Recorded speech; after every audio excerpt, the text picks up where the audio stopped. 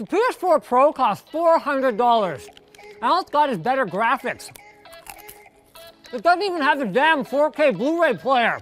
Bitch, if I wanted to spend $400 every three years for better graphics and non-cinematic frame rates, I got a PC.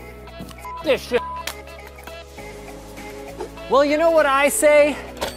Amen, brother. We heard all the outraged console gamers out there and got on the phone with Dbrand to devise a plan. So if you don't want to buy a PS4 Pro, why not just water cool your PS4 and make it look dope AF while you're at it? So let's get down to it then. Welcome to PlayStation 4 water cooling.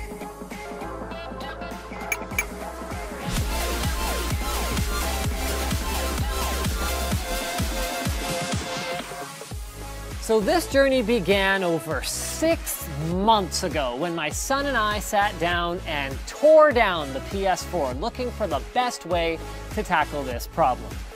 Then I got busy with other projects and handed it off to Jake, who promptly did what any sane person would do and taped the thermal probe using a non-conductive thermal paste to the back of the main board and reassembled it. He chose this position because placing the thermal probe on the APU directly would have affected the contact between the heatsink and the APU itself.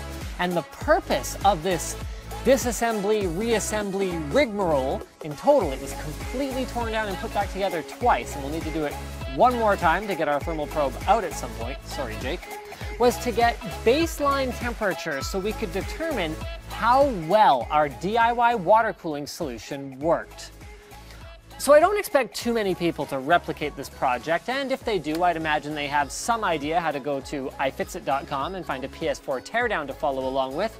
But since we've got all the footage of taking it apart, I'll leave it to my editors to give you guys the highlights until we reach the good stuff. Ah, here we go. With the motherboard removed, we get our first good look at the thermal compound on the AMD APU that functions as both the CPU and GPU core for the PlayStation 4. So we replaced this with a pea-sized amount of IC diamond for both our before and our after tests. Let's fast forward again for a little bit here. Really? That tiny heatsink does all of the cooling for the PlayStation 4? So that then is what we'll be replacing with an EK Supremacy GPU block. By the way, shout out to EK for providing our liquid cooling gear. By drilling through the rivets here with a couple of different size bits. Next, we needed to cut away the motherboard tray with some aviation shears. We actually ended up needing straight, right, and left angle for this, but I guess you could just use a Dremel. Then we routed zip ties through the block, through the motherboard, and through the tray proceeding to cut a hole into the side of the PlayStation 4 for our tubing to route through.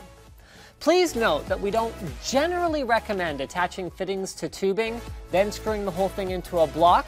It is very easy to accidentally cause it to come loose and leak when the tubing moves, but we didn't have many options here and it was the best way forward. With the tubes installed, it was time to reassemble the PS4, but we needed to make sure our block was securely mounted first. That single zap strap didn't really seem to cut it. But with four or five pieces of squishy, double-sided tape, we were able to compress the stacks, slide them in, and let them expand, giving us a surprisingly good mounting solution that not only held the block in place, but also supplies adequate pressure between the block and the APU. So far, so good. Fast forward again to... Are they really gonna do that? Yes, my friends. During reassembly, we swapped out the stock 500 gig hard drive for a 3.84 terabyte Samsung PM863 SSD, making this the highest internal capacity and possibly the most expensive PlayStation 4 ever at about $3,000 all told. Now by this point, some of you have probably realized that we didn't manage to mount a radiator, pump, or reservoir inside the PS4's chassis. It's possible that this could be done, but given how cramped the PS4 already is with its smaller size, similar power to the Xbox One, and internal power supply, it wouldn't be easy. No problem though, Protocase to the rescue. So the first step was to do up an initial design in SketchUp, which we sent to Protocase to mechanically design and to manufacture. Those guys are great at what they do. The footage you're looking at now is from their amazing metal shop that they use for rapid prototyping and even some larger scale manufacturing. There was a small design oversight on our part that forced us to run the radiator in pull rather than push, but other than that, it worked great. We loaded up an EK XRES 140 with a pre-attached D5 pump using a custom mount from our 3D printer, a Coolstream SE 120mm slim radiator, a bunch of EK fittings, some Primochill black tubing, and a Scythe slim 120mm fan. Then at this point, we sent the mostly finished system to Dbrand for one of their sexy vinyl skin jobs. Those guys mostly do phones, game consoles, and accessories, and computers, but they're always up for a challenge, and I think they did an amazing job of the external water cooling box. Let them know over on Twitter if you agree. We'll have that linked below, and be sure to check out their configurator, which we'll have linked in the video description next time you need to personalize and protect a device, whether it's an iPhone or a monstrosity such as this one. Anyway, surprisingly, with it all put together, no leaks, which leads us to moment of truth time. Will the PlayStation 4 boot and success. It still turns on, but did we improve our temperatures? The answer again is yes.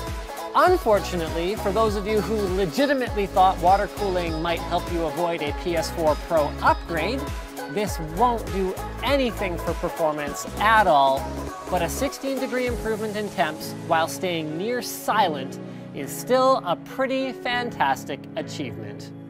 At least we think so.